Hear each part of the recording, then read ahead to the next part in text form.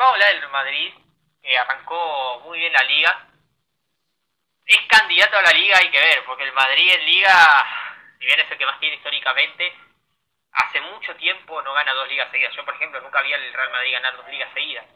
Lo que pasa es que este Barcelona, si bien tiene el mejor equipo que la temporada pasada, este Barcelona es capaz de perder el, el Fútbol Club Palancas, ¿no? Como dicen, puede ser capaz de perder con cualquiera. El Atlético ya lo descarto, o sea, Atlético ya el otro día contra el Villarreal te decís, no, madre mía, pero el Real Madrid, como siga así, es el candidato, o sea, tiene un equipo completo, trajo jugadores que capaz le faltaban, aunque le, quizá le falta un extremo derecho, aunque Rodrigo a veces puede llegar a jugar por ahí, pero no tiene uno puro.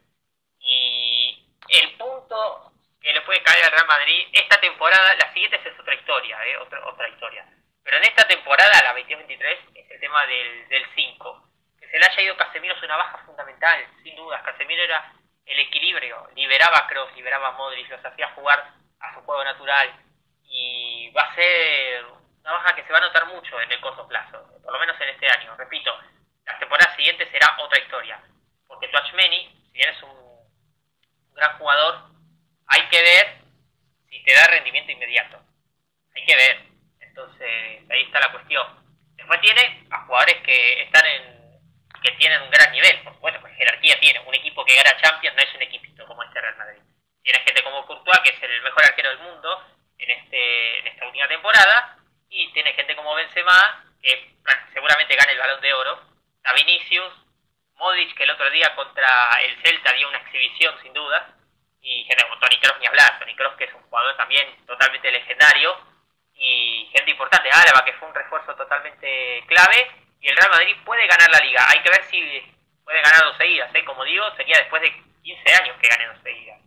Pero Copa del Rey hay que ver porque siempre hace aguas el Madrid y en Champions es uno de los candidatos claramente. Puede bajarle un puntito el hecho de no tener a Casemiro, puede bajarle eso, porque repito, se va a notar mucho esa ausencia. Hay que ver cómo la puede compensar Ancelotti.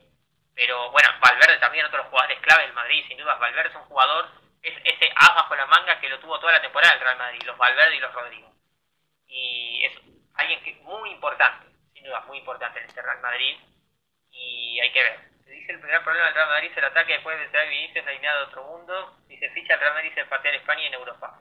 Y hay que ver, eh, porque, a ver, el recambio tenés Rodrigo, después no tenés mucho recambio en ataque. Y ahí sí es un problema, porque, claro, si no en Liga no vas a poder rotar y llegas cansado a la Champions como le ha pasado en otras temporadas.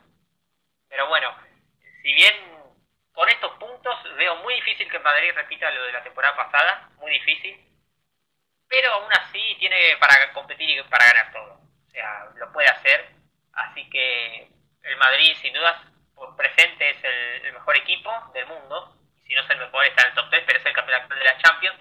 Así que ojito con el Madrid, porque de la nada te puede ganar partidos. Así que, sin dudas, es un equipo que nunca, nunca, nunca se lo puede dar por muerto.